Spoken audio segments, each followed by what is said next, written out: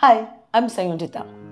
Today I'm making a pomfret curry for you from the Goa Karwar region. This one is from first principles. That is, we'll be starting with grated fresh coconut. Like my quick and easy shrimp curry, this one is also pretty easy to prepare. There are, however, a couple of pressure points that you do need to be aware of, and I will point them out to you as we go along. The link for the quick and easy curry is right here and in the description box.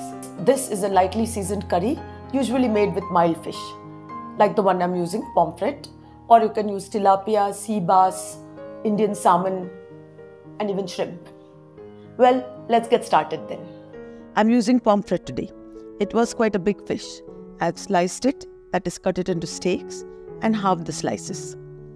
If the pieces are too big, they get quite unwieldy and are likely to break when cooked. I have marinated it a day before when I got it from the market. There's no need to do that, you can marinate it just before making the curry. This much coconut will yield a fair amount of curry. If you do not want too much gravy, reduce the quantity. I'm also going to add some optional coconut milk later. I'm using onion in two forms. The finely chopped onion is to be tempered for the curry, and the coarsely chopped one is to be ground along with the coconut. The green chilies will also go into the tadka. That is, they'll also be tempered.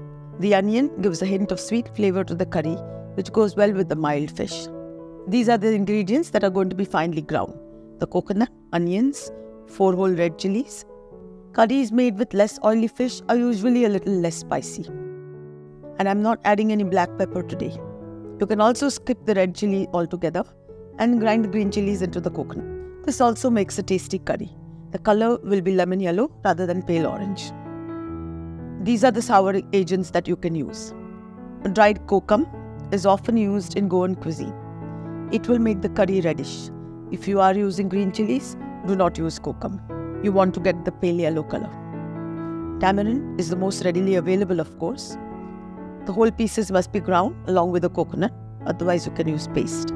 And these are dried raw mango slices. They will not affect the color of your curry. I'm going to use these today.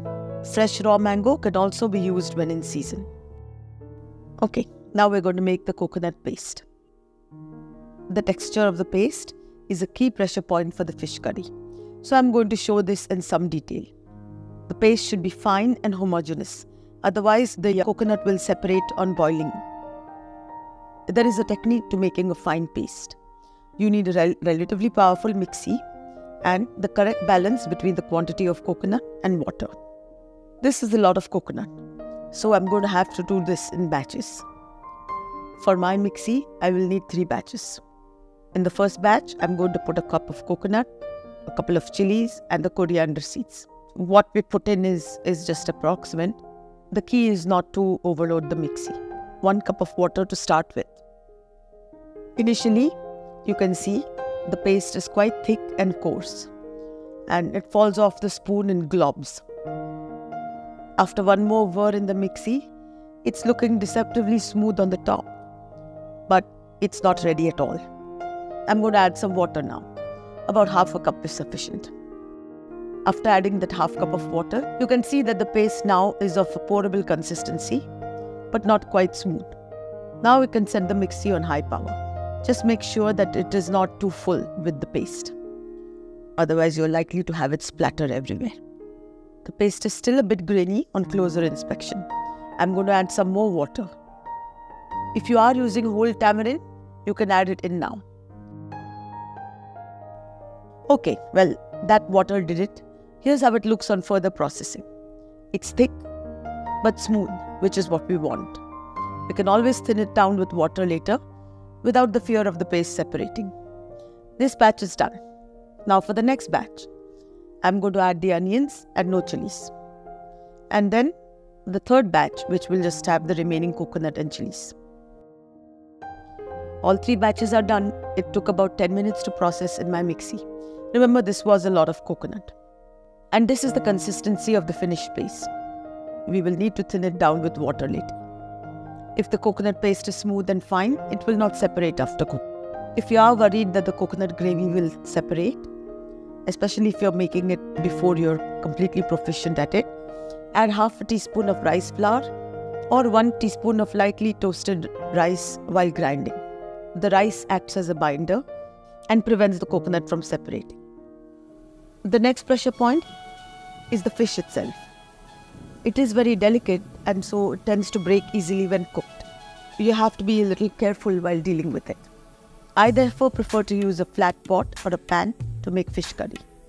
Preferably one that is wide enough to hold all the fish pieces in a single layer. The pan is heating.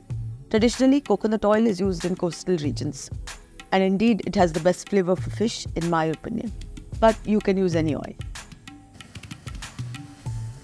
Drop in the chopped onion and fry until it is brown.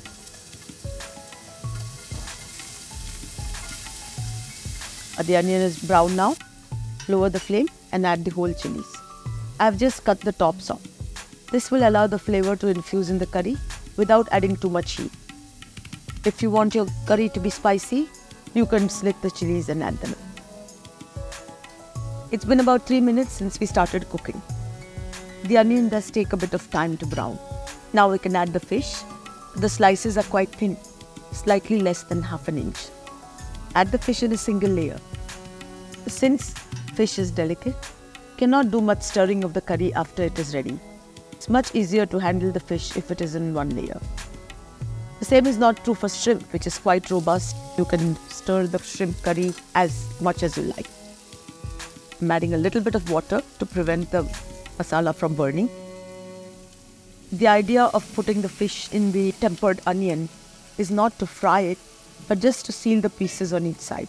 Very often, people directly add fish to the curry, but I just like to heat them on each side for about 20 seconds before adding the coconut. Gently flip over the pieces. They are less delicate when they are raw, so this is the best time to do that. And now we are ready for the coconut. And you can see it's a smooth and fine, almost like thick coconut milk.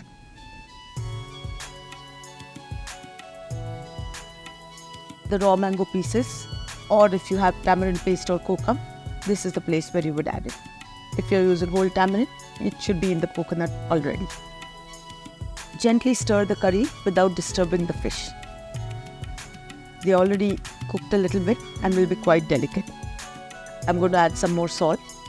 The fish already had some. Cover and let it simmer for about a couple of minutes on medium. It's been 8 minutes so far and it's a large quantity of curry so it's going to take a bit of time to boil and simmer. I'm going to stir it gently because the pan is wide and I want to make sure that everything is getting evenly heated.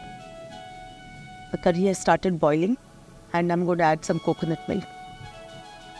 It's mainly added for the creamy texture but in this case I don't think it's really necessary. This curry is already quite coconutty if I could say that and creamy. As always, stir it in gently, taking care not to break the fish. By now, it's already cooked and it will be delicate. Usually, the fish will cook quite quickly, um, except the tail, and if you have the head in there, will take longer. At any point along the way, you can taste and adjust the seasonings in the curry. More chili powder or salt. If it's too spicy, I don't think this one will be. In fact, it will be quite mild add more coconut milk. The curry needs to be spicier and I'm adding regular hot chili powder. I'm just going to cover the curry for about a minute, then we should be done. There is plenty of liquid in it, so you can keep it you know, covered undisturbed for a couple of minutes. It should be fine. Okay, and we're done. It's been a few minutes since I turned off the gas.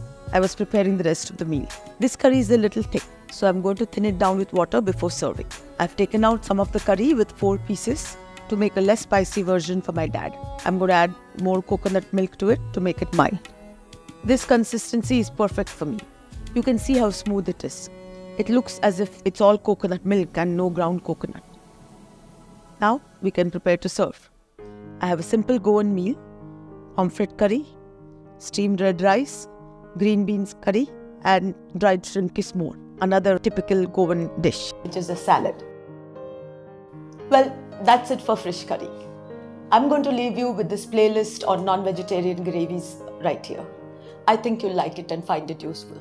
Let me know in the comments below if you would like a video on prepping and cleaning fish. Even the best, freshest fish can ruin a curry if it's not cleaned well. I'll see you again next week. Thank you for watching.